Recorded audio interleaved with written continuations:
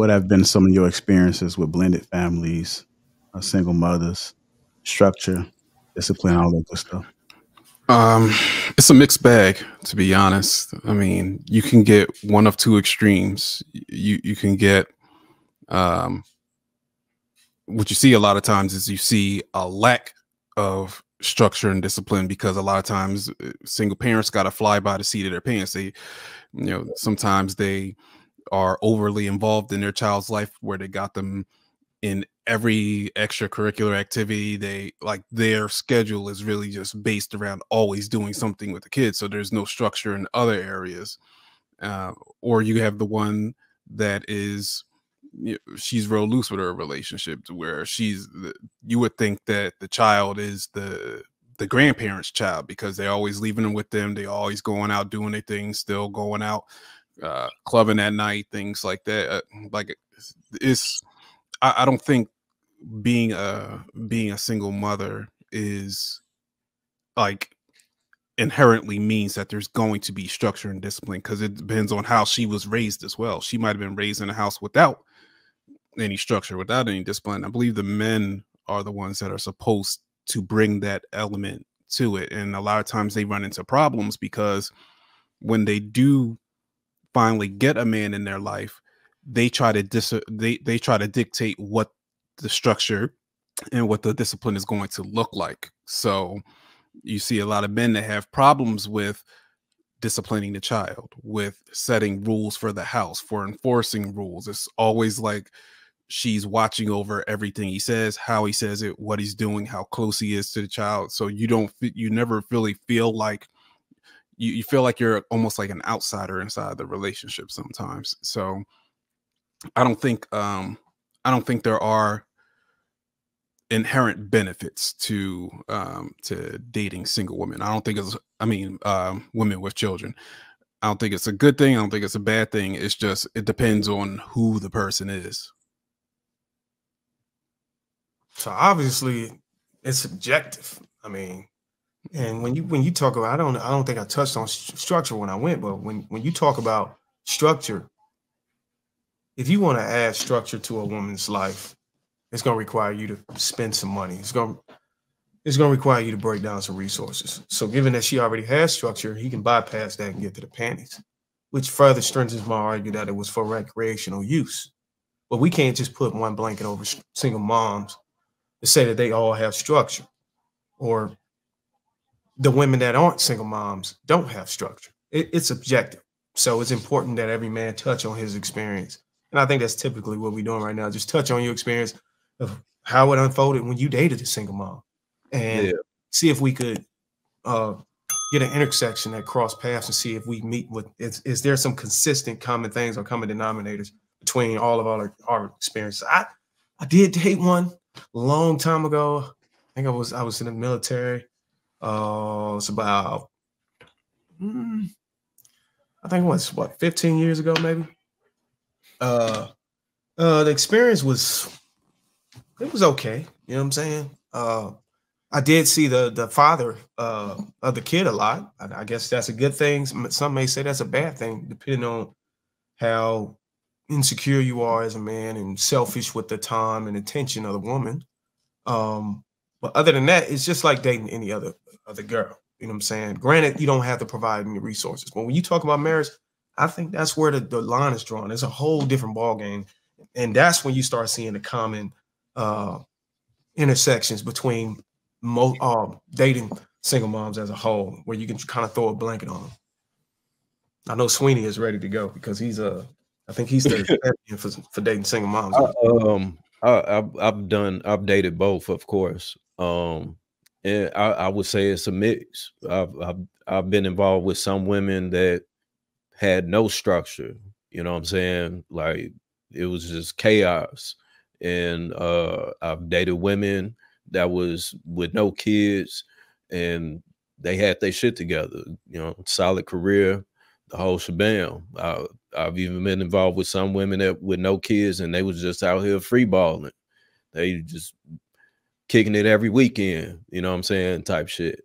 So, uh, I mean, it it it just varies you know and, and i think it depends on uh where that man is at at that time in his life because it's some things you just not gonna deal with and some things you will deal with so when i was younger shorty that's just out here kicking it every weekend hell yeah shit let's pull up you know what i'm saying but as you get older you know for some men is oh shorty you man you drinking again you know what i'm saying you man you going well you know, so uh, I think it just varies. All right. Go ahead, Sweeney. Um, I do have a quick question for the fellas. Um, how old were y'all when y'all got married? If you are married, how old are y'all? Uh, how old were y'all when y'all got married? And if you're not married, how old are you currently as a single man? I was 27 when I got married. 35, 34.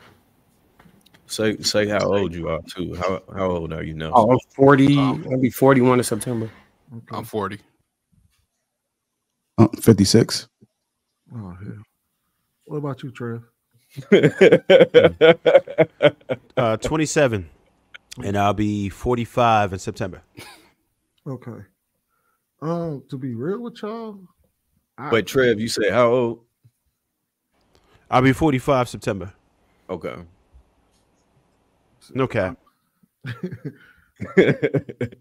uh, Kenny, how old are you? 51. 51? Okay. And uh, Hank, I can't remember exactly how old you were. 48. Okay. Um, hey man, I don't I don't believe Kenny is 51. honestly, I don't believe that Hank is 48. I think that nigga younger, bro. but no, though, to be to be perfectly honest with y'all, um, I can't argue. I can't say that I have much dating experience as a fully grown man, if that makes sense. I've been with my wife since I was 21, and I was in college since 18. After that, before that, so most of my dating experience of dealing with women was between you know high school and you know I mean 21 years old while I was in college. So the the woman that I married was a single mother at the time at 21 years old. So I can't say that I've had any real experience like out there dating as a grown ass man.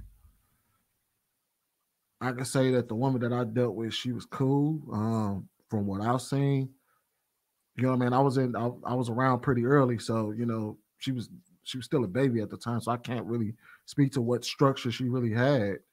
Um, pretty much when we moved in together, we were, you know what I mean. Whatever I was able to do, whatever any normal parent would be able to do.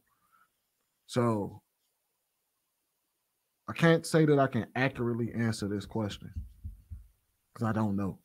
All I can do is base it off of what y'all experiences had, what what kind of experiences y'all had, because being there's a difference between getting with someone at 21 or or dating at 21 or and then being out there and dating between the ages of 24 to 35 or to 40 and things like that there's a whole different world of experiences that that comes with that. Because you deal with a totally different group of women. They're they're far more they could be far more demanding. They mindset they their expectations are different. Like i was dealing with college girls you know? They ain't had no damn expectations you, know what I mean? You come to the dorm room with a bottle of crown, uh, not crown, with a bottle of fucking ENJ, and they was going. So,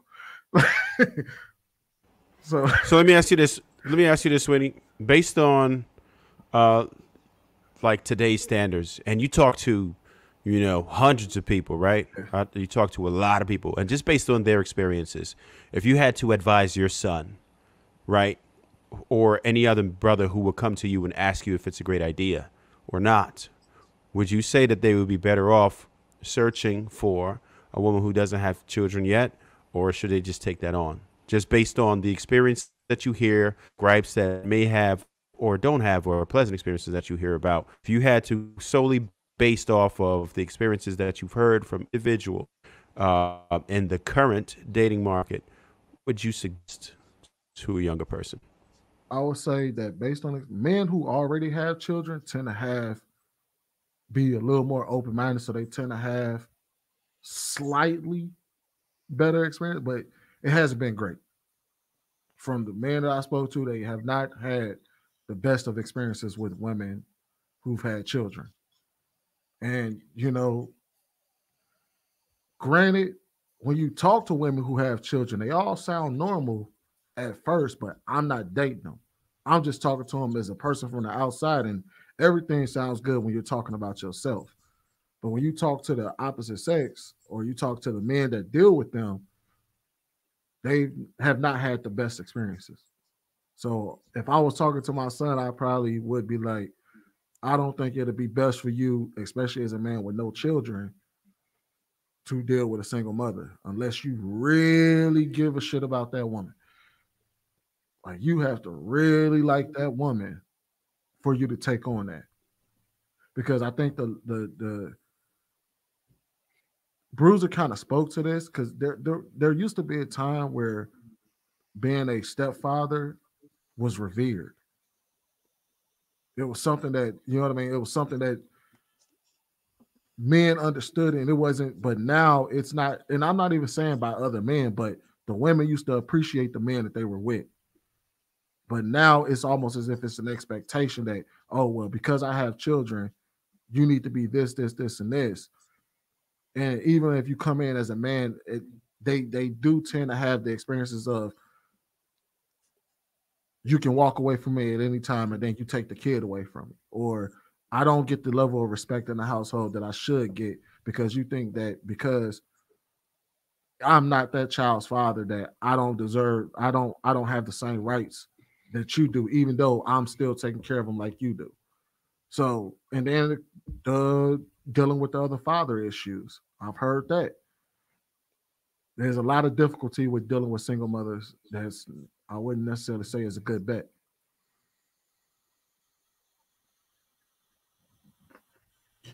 All right. Just so everybody know, man, I'm not 56, I'm 41. For the record. Appreciate that because I was I was sold on the the Beijing guy here if he was fit in your 50s. Yeah. Um, where to go to you, Kenny P? What are your thoughts about it, sir? You using uh the initial using Ocho Cinco to start the conversation. That's one of the worst people that you could use. Eight children, seven different baby mamas giving you advice about finding stability with uh, a baby mama. I've dated a baby mama when I was 26. That's when I made the transition from messing with uh, the tender love girls to an experienced woman that know how to uh, do things to you that the others didn't. That know how to cook a hot plate for you. You you didn't pay attention. You were young and dumb and didn't look long. You were just reactive because she know how to please you. Put a plate on the table and you you would like say hi to the kids, but you would just keep it moving because you were dead set on getting that comfort. But then it came a point in time as time went on you would say, "Hey, you shouldn't do that. You ain't my daddy." And I'm like, "Whoa, I'm a little too young for all of this." And then one day I meet the pops, and he sized me up. I size him up. It's a bad bet most of the time when you entertain that. Coming into a situation, being a single man, you're eating the cost of someone else's bad decision. And I don't think that that would be the best thing for working out long term. The percentages are low that you'll find someone that just got a bad beat with men. This is not a Tyler Perry movie where you'll awaken a woman and you know she has a purpose and she just needs to cleave to a man that would love her and you know all the kids will fall in line and you know flowers will come out the air. Nah, that's for fairy tales. And at 51, I've done took in many lumps. You could look in the back of my head. I still got some. Baby mother number two. Think I'd learn. I thought I would get the same thing. I still got a mark on my lip right here from when I tried to put her out and she showed me something different. Lie. Understand that? But to, to land a plane real quick, nah. It's a bad beat. It's not. It's not feasible. You may find an anomaly, but that'll be the exception to the norm. Go ahead, brother Hank. So I'm, I'm gonna be honest. And all of these cats up here lying, talking about they wouldn't date no baby mama, marry them either. They lying and got them ass off. Let that right baby mama, let that right baby mama come their way. These dudes are wifing the shit out of them, bringing them in, them in the living will, signing the, the deeds to the house over and every goddamn thing. Y'all know y'all would. Y'all need to stop this bullshit ass YouTube line y'all doing up there. Shout out to age. Shout out to my brother JR. Um, let me say this. I've been a father ever since I was 20. My uh, my daughter uh, uh, was born when I was 20. So do I have a lot of experience of dating women without kids uh, as I what we consider adult age? No, not a lot. I have dated some, even though I had a kid uh, without kids. Uh, their structure is like like Ocho Cinco said, it's limited to none because they don't have anything. The Only structure they have is uh they probably uh other than going to work, there's no structure for, for, for most of them. Other than going to work. The most of them that I've seen, I interact with, they have none. I mean, the house was in chaos. They just moved. Uh, I mean, no no type of plans. They had no type of budget. They uh as far as the schedule, it was all over the place. You, you know, nothing wasn't set in stone. You, you, you could never get them locked down on anything. I still deal with uh uh adults, women with with no kids, because my son is a, a, young adult. My daughter, well, she's married now, but some of her friends are young adult. I interact with them. I talk to them. When I have a cookout, they come over, we have conversations, and just see how they move, how they act. I asked them to bring something to the cookout. These motherfuckers forgot what I told them. Now, maybe because they high. I don't know what it is. So then they got to run out to the store and go get it. Man, I put it in a, in a, in a text message, you know, but, you know, it is what it is. But as far as me, well, I dated women, kids? Yeah, I have. As a man with, with kids, I, prefer to date a woman with kids because they already understand what it is to have a child. You know, saying my schedule is limited. I, I can only do certain things or, or, or, or, or do certain things at certain times because I have a child. I have responsibilities. So with a woman who has kids, already knows that understanding, we can respect each other's time and energy. And, and there's not a, much of a high demand when you deal with a woman kids and when you have kids too. Um, as far as like right now, the lady I, I I'm I'm in a relationship with, she has older kids. All the kids, uh, uh, her, her, oldest is 20, her youngest is 16, and that's perfect for me because now they're they're in they're at that age they could independently move on their own. They're off to college. Two of them off to college, so it it, it works well for me. I'm I'm okay with it now. If I had like uh, I think the question was you had for uh I don't know if it was what I think Sweeney would I recommend my son? No, I would tell my son to date a woman with kids. No, because you don't have kids, buddy. Now, if you had a, if you had a child, I would say, man, you you might want to get a woman with kids, man. These women without kids in, in, in your your era, yeah, they they gonna demand a whole lot. You got to uh, move a different way. You know what I'm saying? When you're dealing with a woman with kids, you know what I'm saying? You you, you have to. You know what I'm saying? I'm not I don't have any issues with uh, the baby fathers. Uh, matter of fact, when I we uh, took her kids to uh, her, her uh, ex husband, met them in Arkansas, the man told me, "Thank you, thank you for bringing his kids safe and sound." You know, what I'm saying we shook hands and that was it. It wasn't no animosity, no nothing going on. I mean, you know, I don't I don't believe in that. We two men. Now, if you, you mad because with your ex-wife, you need to get over that shit. I mean, you know, move on. You know, y'all didn't work out. That's that's his loss, my game. But I landed there.